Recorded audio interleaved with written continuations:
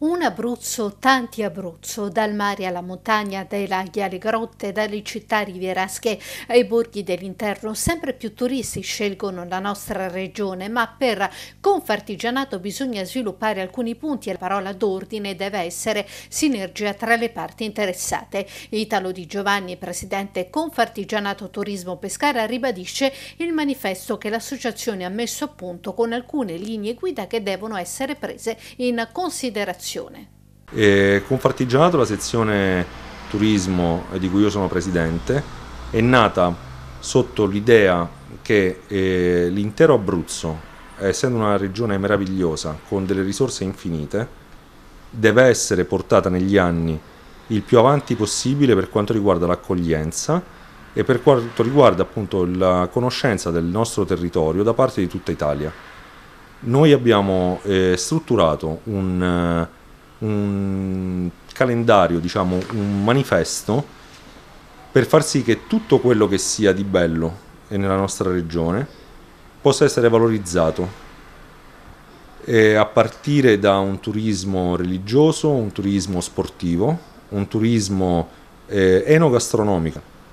Quali sono i punti che voi sottolineate per avere un turismo di qualità e anche un turismo appetibile per, per chi voglia venire a visitare la nostra regione?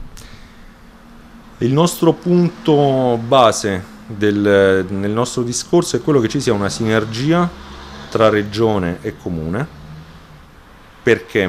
Perché tutto quello che avviene per poter essere portato avanti deve essere un connubio eh, di idee e di progetti che si uniscono fra loro.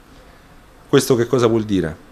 Eh, si parla del, dell'aeroporto che diventerà un aeroporto internazionale, ma l'aeroporto internazionale avrà come conseguenza un afflusso di più persone, l'afflusso di più persone dovrà avere eh, un apporto di navette, di taxi, di smistamento anche di queste persone verso gli alberghi, verso i bed and breakfast eh, o comunque verso qualunque località eh, che in questo momento rimane piuttosto difficile. Come i collegamenti tra mare e montagna, secondo Confartigianato.